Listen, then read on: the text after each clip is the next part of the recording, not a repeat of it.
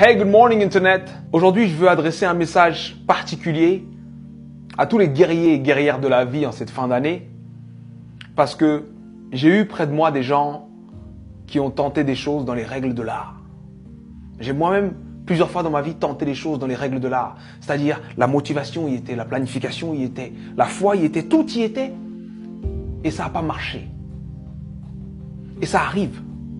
Des fois, ça arrive même que tu sais que ça va marcher, tu fais tout pour que ça marche, mais d'autres choses que tu croyais là s'effondrent.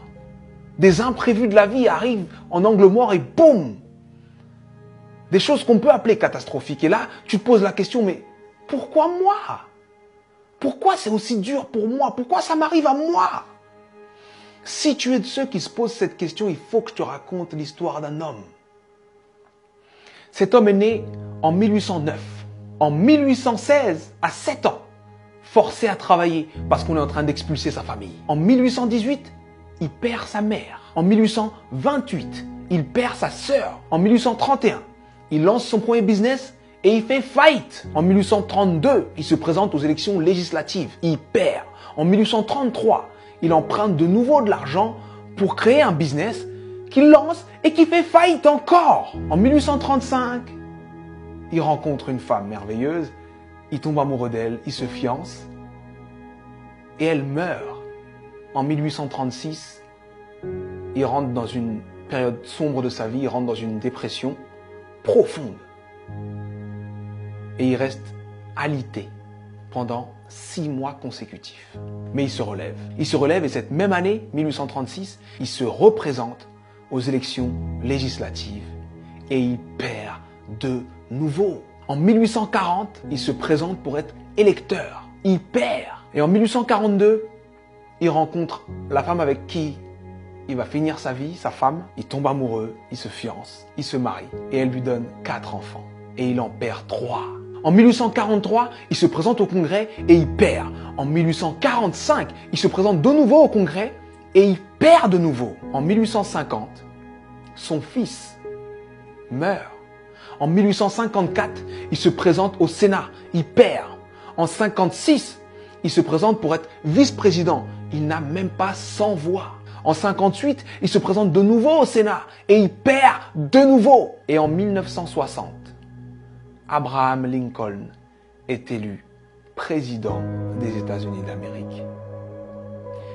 Et il fait deux mandats exceptionnels qui font de lui l'un des présidents les plus respectés et les plus impactants de l'histoire des États-Unis.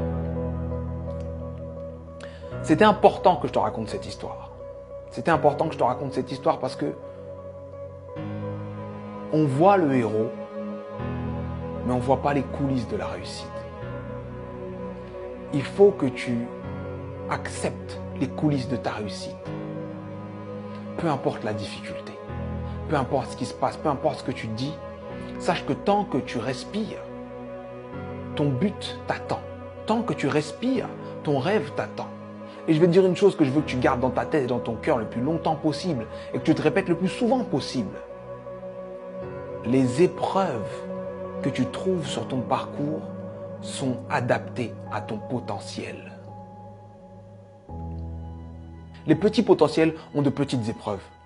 Les gros potentiels ont de grosses épreuves. On peut tous, dans nos vies, prendre des feuilles, noter les dates des moments les moins drôles de nos vies, les moments les plus difficiles de nos vies, et faire une liste comme celle que je viens de faire pour Abraham Lincoln. Mais sincèrement, je pense que Abraham Lincoln faisait l'inverse. Pour avancer dans les coulisses de la réussite, pour avancer face à toutes ces épreuves, il faut se focaliser sur ce qu'il y a de bon, de positif et ce qui nous donne envie d'avancer.